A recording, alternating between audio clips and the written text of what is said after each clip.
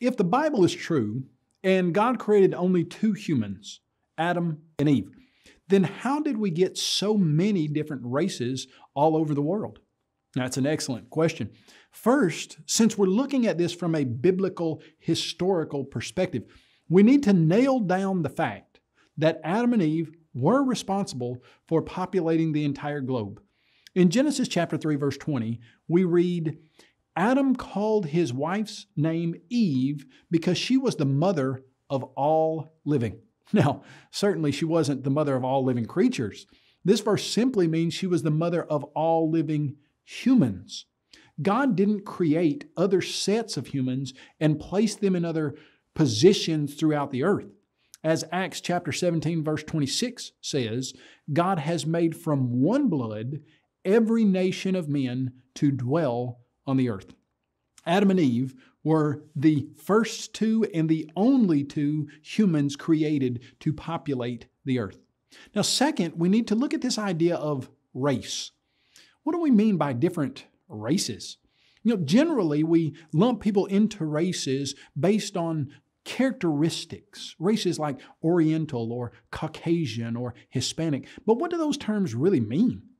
They're simply loose categories of people that have certain similar traits. But what kind of similar traits do we use for these categories? We find that it's just arbitrary. We just make up our own list. For instance, suppose we were to take the trait of skin color or pigment. The pigment melanin is responsible for skin color. More melanin means a darker skin, less melanin means a lighter skin. But even using skin color to determine a race is problematic. For instance, many people from Africa have dark skin, but so do those from India.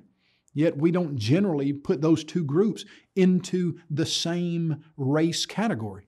Again, Native Americans and Hispanics generally have similar amounts of melanin, yet we don't often categorize them as similar or the same race.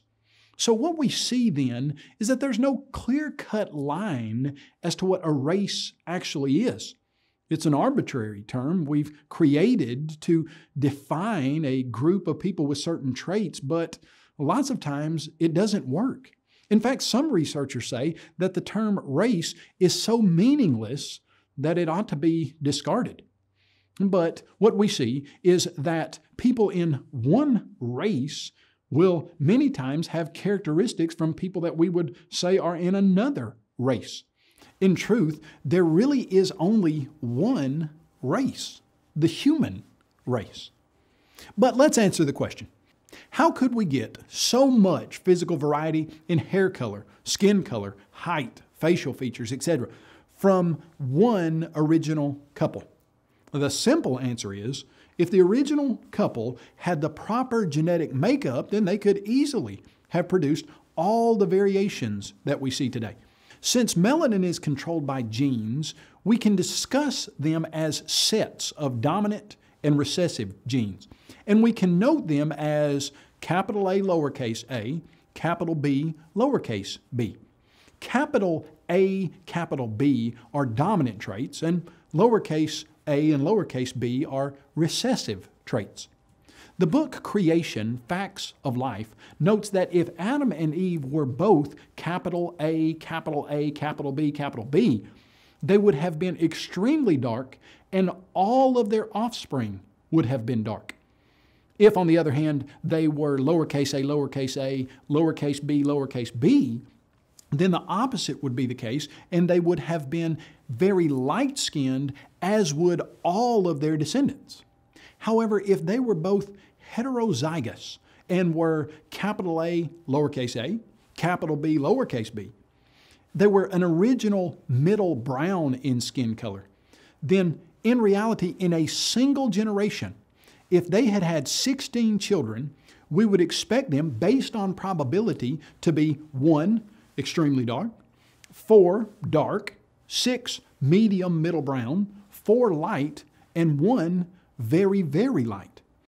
Did you know still today we can see such variety in certain families across the globe?